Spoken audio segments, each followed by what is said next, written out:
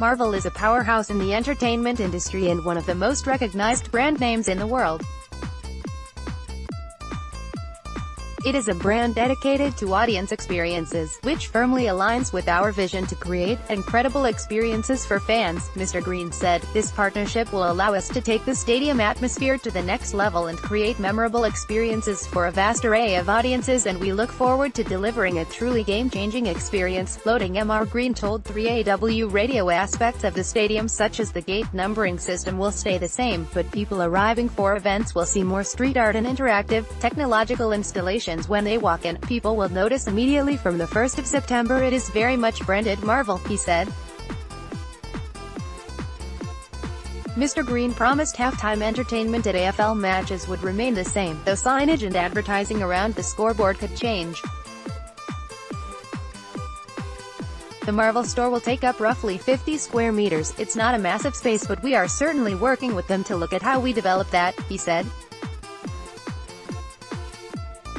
Mr. Green promised footy fans the rebranding would not Americanize the stadium. The core content is still what happens on the ground, we are not proposing to make any change to that at all. It will still be very much an Australian product when you are here at the footy, he said. We think there's no downside to having a more immersive experience. We are not going to shove things down people's throat. What happens on the ground is still the star of every event. We are trying to enhance the experience, not take it over, a government spokesman said. This is a matter for the AFL. The multi-purpose stadium, which has previously been known as Telstra Dome and Colonial Stadium, is the headquarters of the AFL. Etihad purchased the naming rights in 2009 but the partnership is set to end this year. The first AFL match was played at the ground on March 9, 2000, between Essendon and Port Adelaide.